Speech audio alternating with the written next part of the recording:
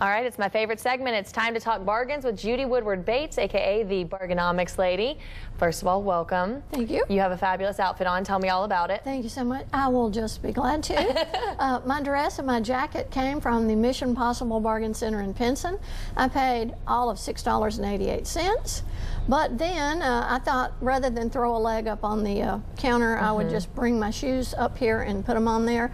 But I found these gorgeous uh, Italian leather and silk pumps for $2.98 at Family Thrift Store in Jasper. Oh. And uh, I, I love to know where the money is going, you know, mm-hmm. when I deal with these places. So Mission Possible Thrift Stores support all the ministries of Jimmie Hale Mission, and that mm-hmm. includes the Shapiro Men's Center and Jessie's Place, a whole lot more. And then Family Thrift supports United Veterans.